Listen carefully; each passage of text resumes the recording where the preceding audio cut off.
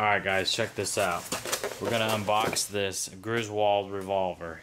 Now this unboxing slash initial look is kind of special because it's gonna herald a whole series on these cap and ball revolvers that I'm gonna be doing over the next little while. I've already got a few of them in the bag, uh, but I'm kind of waiting on releasing them until I've got an overall feel for the different brands and the different uh, models. But uh, it's pretty cool. I'm pretty happy with the videos and uh, I think we'll kind of start the series with unboxing this video or this unboxing video. So as you know by the uh, title of the video this is going to be a review initial look at the Pietta Griswold revolver. I'm a big fan of the uh, TV show AMC's Hell on Wheels and uh, in that show the main character uh, in the opening seasons carried a what they called was a Griswold revolver, but it was really just an 1860 Army with a brass frame. But we'll talk about that more. Uh, this particular one, made by Traditions, well, not made, marketed by Traditions, imported by Traditions, uh, but made by Pietta, as you can see. There's the manual there. So, made by Pietta, imported by Traditions. Now, the reason that I went through traditions is because Cabela's only offered the 36 caliber Griswold for sale. And that really just, even though that's slightly more accurate, that really didn't make sense for me and my personal situation because almost all of these suckers that I have are 44 cap and ball. And the ones that are the full size revolvers that I can keep in that caliber I'm gonna go ahead and keep in that 44 just makes sense for me logistically. So I went with the Traditions Imported Pietta and as you can see there it is a beautiful gun for just 200 bucks. You can't ask for much more than that.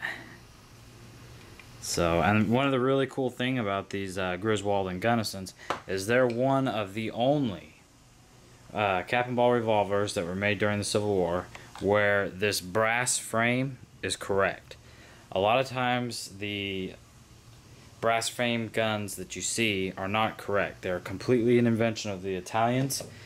This uh, 1851 Navy with the brass frame is a perfect example. This one's also incorrect in that it's a 44 cal. But uh, these things are marketed by Traditions on the very cheap. They're like 150 bucks and uh, that's why you see them but they did not exist in the Civil War.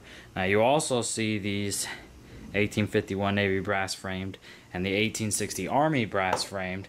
You also see them in the TV shows like Hell on Wheels. And I assume that the reason is cost you know production cost.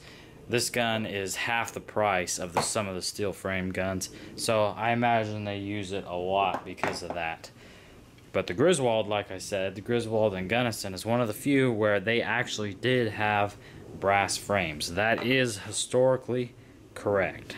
So it's beautiful and we can appreciate it for being historically correct. Another thing that I really like is uh, the Walker style barrels where they had the octagonal barrel extension and then it transitioned into the round barrel. So out of the box, it's still pretty oily. I wiped it down before starting the video, but I'm very happy with the way the lock is cycling.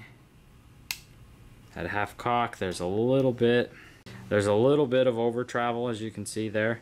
It should be about like that, but nothing that I can't take care of. Locks up pretty good. And this is again before disassembly or anything like that. This is right out of the box. The only thing that I've done is clean it or wipe it down, wipe the oil off. So you can get a good look at that 44 caliber ball bore. If I can get my camera to focus. There we go. So pretty cool. So I'm not going to do much in the way of modifications to this Griswold and Gunnison. I'm going to slick up the internal parts just a little bit. I'm going to put the slick shot nipples on it just to aid in firing. But that's pretty much it. I'm going to run it stock and we'll see how it does. Put a couple hundred rounds through it.